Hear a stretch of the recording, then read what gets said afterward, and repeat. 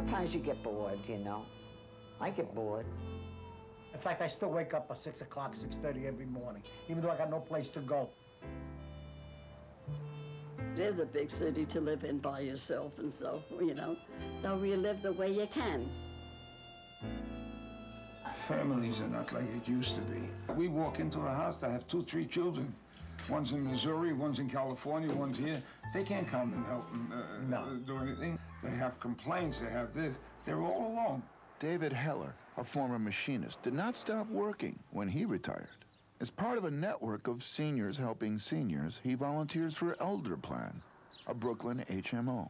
And I started talking to my colleagues about this opportunity, and they looked at me and they said, Mashi, you're going to recruit people to volunteer in a health plan? You're going to have people knocking on people's doors, going into strangers' homes in New York? Are you out of your mind? And I said, probably. And here we are, 10 years later.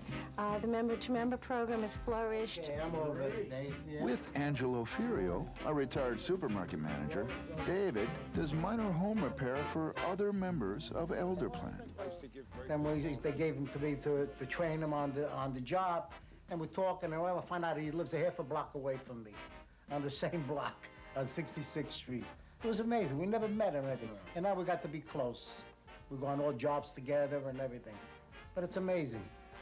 you like that good. Oh, I'm glad you got a ladder. I wasn't sure. Yeah. Yeah.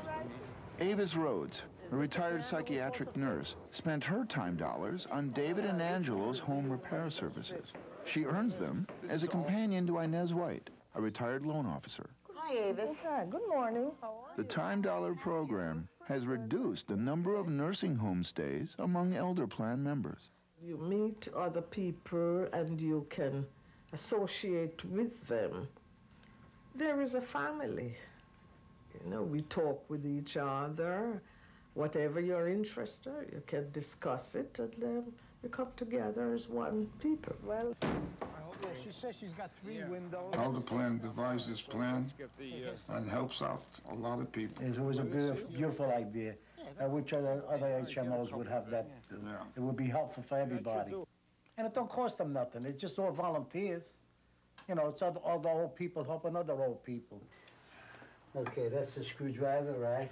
Let me see if it turns underneath. Oh, Angelo and David. could use the Oh, they're my friends. And they're stripped, that's all boyfriends of mine. Really, I can't live without them as far as that goes. Yeah. But Yeah. it's stripped like, you know, and it takes a little time. Well, of course, it's an old one, you know, too. You know, of- well, like we are all old here anyway.